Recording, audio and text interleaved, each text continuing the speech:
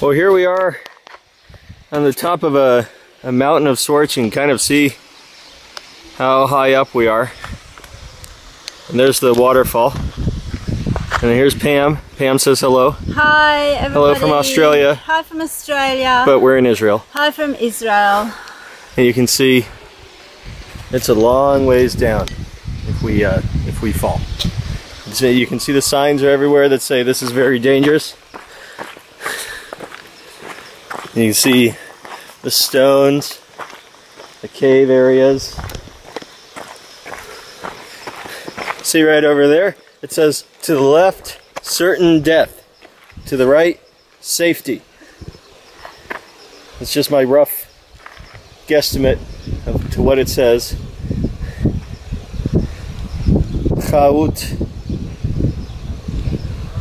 Anyway, I, I'm sure it means you're gonna die if you walk that way. So, let's go over here.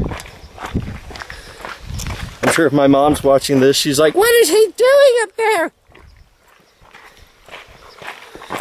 And just give you an idea of how much, uh, how far up we are. What are we? We're a few hundred feet up, right?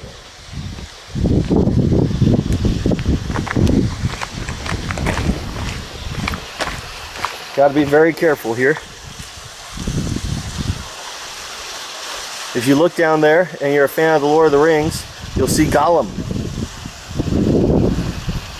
Okay, I'm going to turn the camera. Well, I'll turn the camera off in a moment after I can look over this cliff.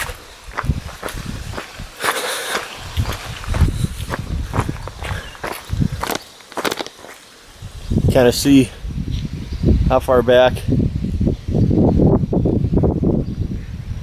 There's little markers on the wall that are color, those mark the trail. Here we have a suicide jumper. Just kidding.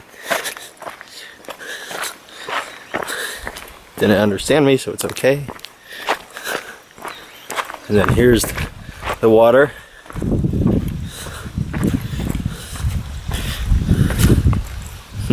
ah! Just kidding.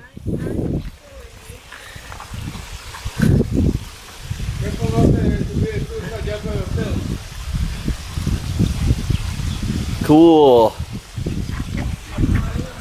Oh, that's why I'm watching this. Alright. You can see the stream.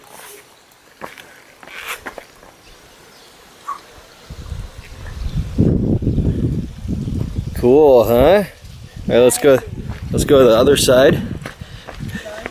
And kind of see how far down this goes. The good thing is is that if I did fall, at least I'd have a couple levels on which to sit with my broken bones.